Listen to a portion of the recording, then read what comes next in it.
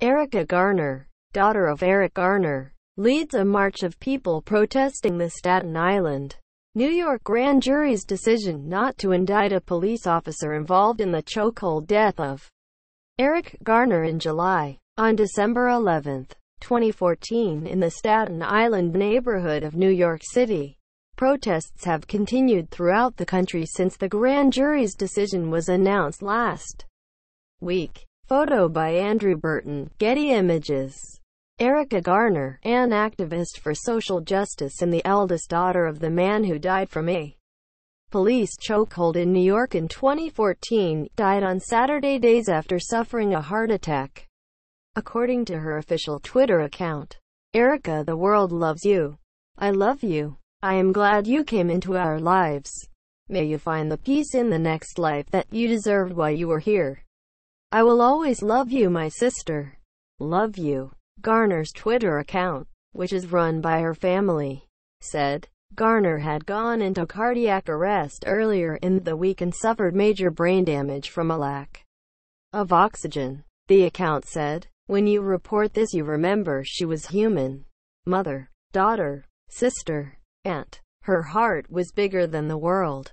It really really was. Her account said, she cared when most people wouldn't have. She was good. She only pursued right. No matter what. No one gave her justice. Erica Garner is the eldest daughter of Eric Garner, a 43-year-old father of six. In July 2014, police attempted to arrest Eric Garner for allegedly selling cigarettes illegally in Staten Island. Video of the incident shows New York police officer Daniel Pantaleo tackling Garner from behind and taking him to the ground using a department-banned chokehold. Pushed for social justice. Political change Eric Garner, who had asthma, was pronounced dead that day.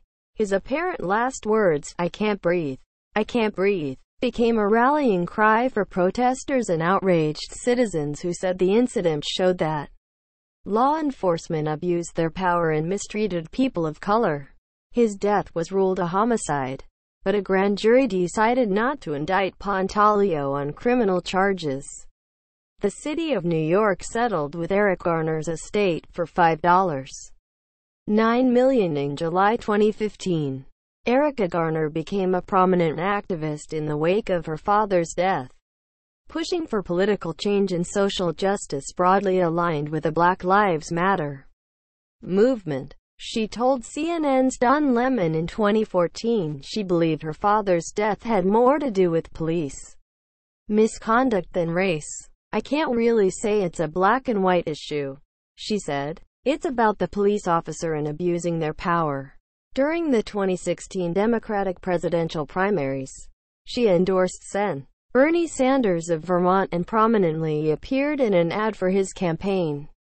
I feel like a representative for people throughout this whole nation because I'm doing this. I'm speaking out. Me being his daughter. She said in the ad.